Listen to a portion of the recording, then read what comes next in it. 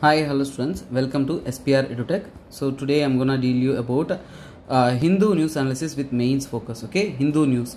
So Hindu newspaper articles, I will take a content and from them I will frame a mains question how it could be framed and also its importance and how you can answer it. So this is completely a mains answer write type answer writing preparations and also guidance and also in future from June. So June 15 June 15 I'm gonna launch a mains focused mains training. So if you are interested you can inquire through the comment section. I will be responding. If you are really interested then I will try to launch the course for your exam preparations.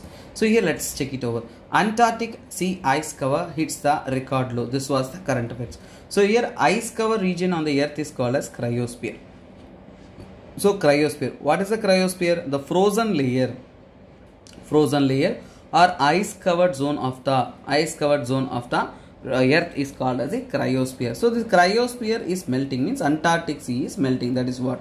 So this question i had already told you 2017 and 20 uh, eh, 2021 this is one important topic two times asked in the question exam. So now so regarding this question so here i'm gonna provide how the questions could be asked in general upsc preparation if you are preparing there will be discuss the impacts of climate change on the cryosphere and consequences of global sea level. So here discuss based question and if explain based question. Explain the role of glaciers in maintaining the water supply to the rivers and human settlements in the mountainous region. Analyze the ecological significance of polar sea ice and vulnerabilities to the climate change. Critically evaluate. So critically evaluate type of question. So here critically evaluate the importance of permafrost and global uh, global uh, carbon cycle and also potential feedback loops associated with the permafrost. If they are asking critically evaluate, you should not take a stand, which means you should in a dilemma stage. You should say the strength and weakness. You should say the positive and negatives.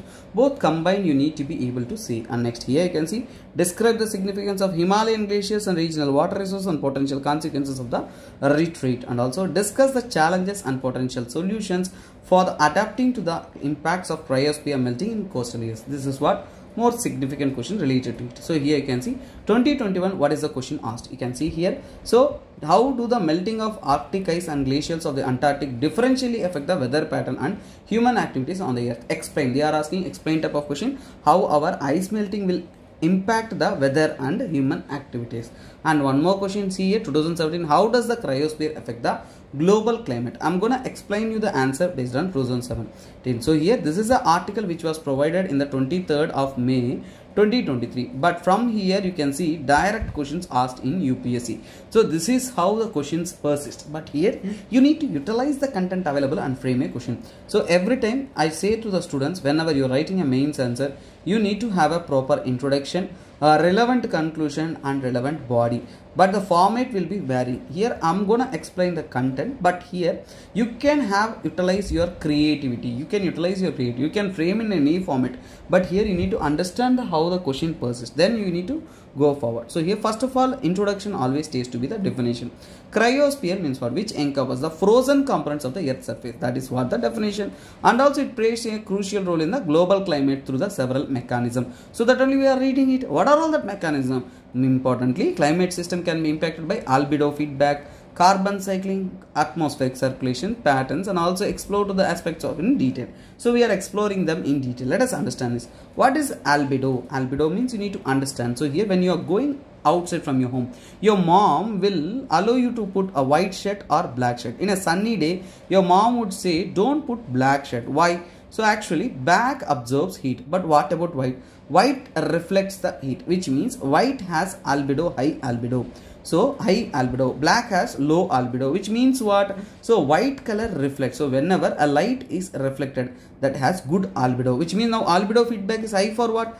Cryosphere. So cryosphere will have a high amount of albedo. So now we can see here cryosphere is a snow ice surfaces reflects the sunlight back to the space. So here when it reflects the sunlight it will not get heated. So heat is not present on the earth surface. So here it helps in cooling of the earth.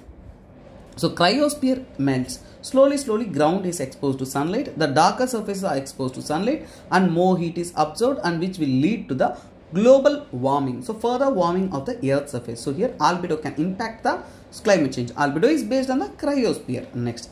Carbon cycling. You know the water which format changes from one format to other formats? Similarly on this earth carbon will be changing from one format to other format.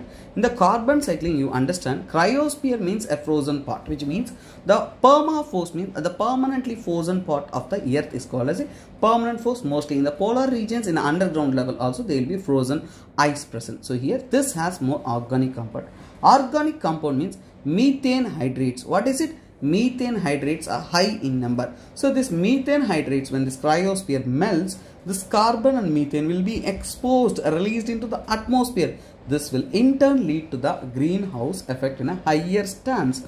And next, this will increase the global warming because methane has a 23 times more potential than the so-called carbon so this is very dangerous and next here you can see atmospheric circulation sir how it can impact the circulation simple guys so here cryosphere increases wind patterns which means atmospheric pressure. So here we know that polar regions are high pressure belts but now when melting happens more heated up it can turn into a low pressure which means melting of arctic ice for example can disrupt the polar jet streams which can alter the climatic patterns weather patterns and increase the extreme weather events present over that region. Now, now again sea level rise. When sea level keep on rising ice, glacial, everything keep on melting and this will pose a risk to the coastal regions, vulnerable storms can happen, coastal population should be displaced which is very very very very dangerous things.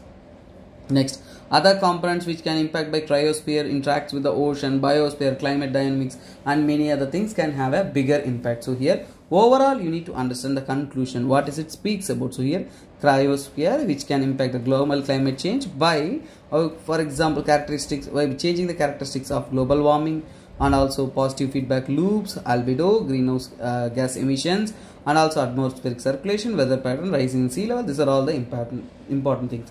But understanding this cryosphere and addressing these complex issues can lead to the betterment of our climate system. So here we need to work on the important mitigation measures on climate change but we, uh, we can uh, save our planet earth from the nature and human system can be saved from the impacts or adverse impact of this cryospheric danger. This is an important question that you need to understand asked in 2017 but you can add some diagrams add some images add some creativity add some headings also. But overall format of the question how it stands to be how the single topic can be asked in multiple ways of questions that has been clearly mentioned by me so that it will help you in a proper learning. Really if you are interested in mains training or uh, mains coaching you can provide as a queries guys so that i can provide you for qualitative content bye bye take care. Have a nice day. This is me spr signing off. Have a nice day